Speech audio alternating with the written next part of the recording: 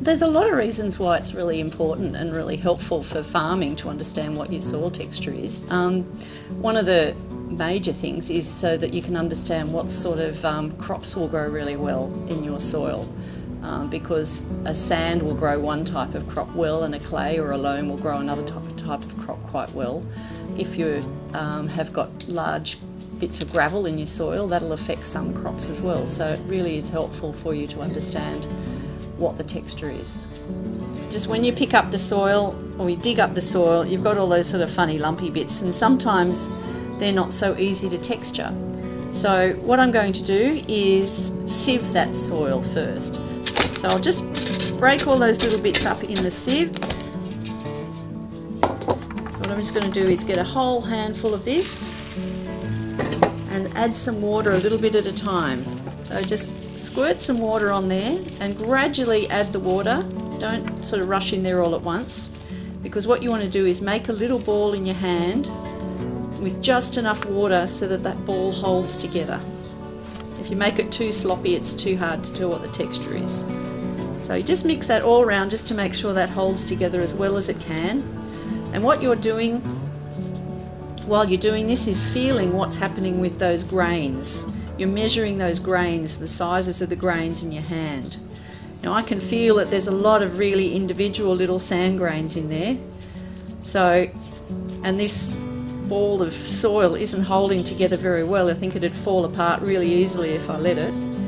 So what I'm going to do now is to see how well it holds together by making a ribbon with the soil.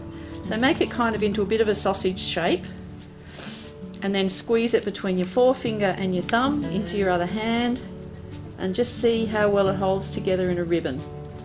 And it's not making much of a ribbon, then it's a sand. Alright, the next texture group after sand is, um, it's called silt or some people call it loam.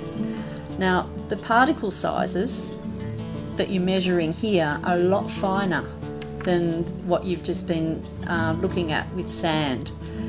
You can still just feel it, but they often feel much silkier and much smoother than sand.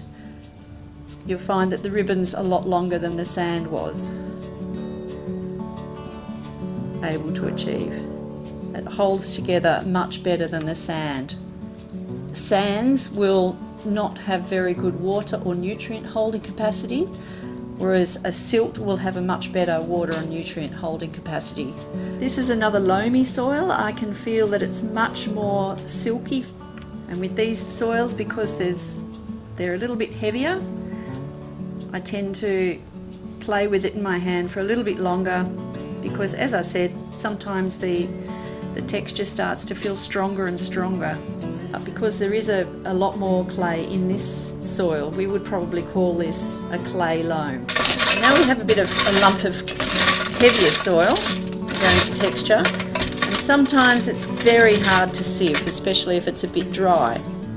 And again, this one feels really quite soapy and silky, which tells me it's got a lot of clay really, really, really fine particles in it. A bit sticky again, tells you it's got clay, a lot of clay in it. And what also tells you it's clay is that it gets much harder to manipulate in your hand. And particularly if you think it is clay, it is worth moving it in your hand for a little bit longer, as I said, just to make sure all those clay particles are released into the ball. And you get a much clearer idea of how heavy the clay is. A lot of people think clay soils are fabulous, but they're not always so easy to manage. Sometimes there's a big problem with um, poor drainage in clay soils and you might have waterlogging. Crops can sometimes have difficulty accessing the water and the nutrients that's bound up in those soils. So they need very careful management also.